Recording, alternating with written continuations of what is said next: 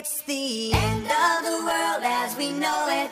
I feel fine. Hey, Stim, wanna hear a joke? Hmm. Okay, but it better not suck like that anonymous joke. Okay, so two Greek anarchists are sitting together making Molotov cocktails. All right. One asks the other, Where are we gonna throw these at tonight? The other replies, What are you, some kind of fucking intellectual?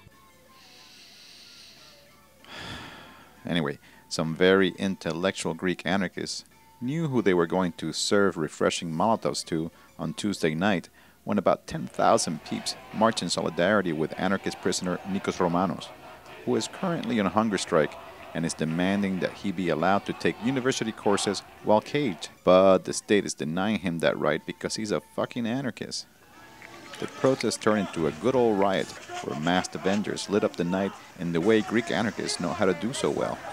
Δυο μου χέρια Θέλουνε τώρα να μου φτιάξουν μια θωριά Που έχει πάνω της το φόβο την ασκήμια Και ένα κλάμα γοερό και μια λυσίδα βαριά Κουβαλάει την κατάρα των θεών και την βλασφήμια Δεν θα δακρύσω μα δεν θα φοβηθώ δεν θα αφήσω να μου κλέψουν τα όνειρά μου ελευθερά ψηλά Πολύ ψηλά πετώ Κι όλοι ζηλεύουν τα περήφανα καθές με τα φτερά μου Stay tuned on Sunday night, December 7th, for a report called Ferguson Redux, only on submedia.tv.